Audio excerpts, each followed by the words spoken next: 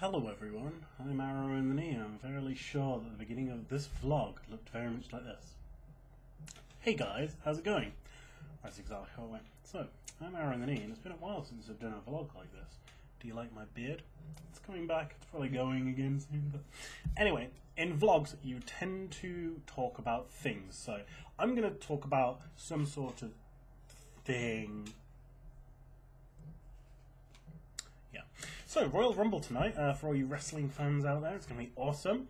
Uh, I thought I'd make this video to tide you over and probably tell you I'll be doing some sort of Royal Rumble video. I guess.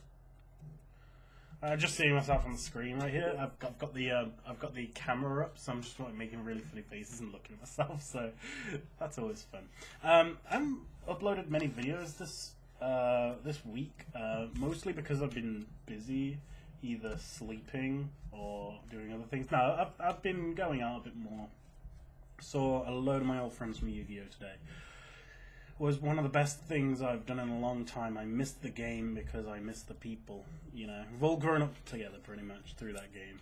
Like 10 years ago, 11 years ago, we all met. God, it's insane. I've got to start doing more Yu-Gi-Oh videos. There's a lot of people who I'm letting down by not doing them.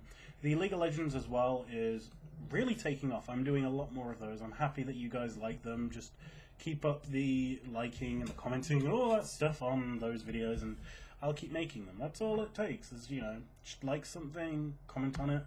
I'll probably make more because those those things uh, pretty much just show how much interaction there is, how much you like it, etc. If you don't like it, you won't like it. You won't comment on it. So I'll be able to see what people like better and all that shit.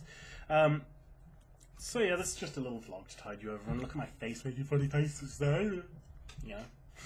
Um, so yeah, gonna go watch the Royal Rumble, have a few drinks, enjoy my night, and hope that Daniel Bryan wins. Goodbye.